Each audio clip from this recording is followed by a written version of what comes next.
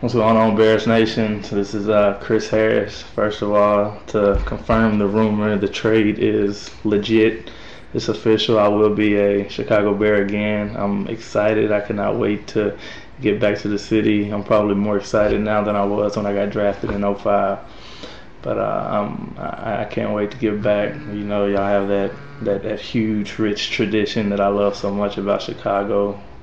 Um, uh, and I'm just excited to get back with the rest of the guys and uh, get back to Super Bowl form like we were back in 06 when we went. So uh, I'm looking forward to it.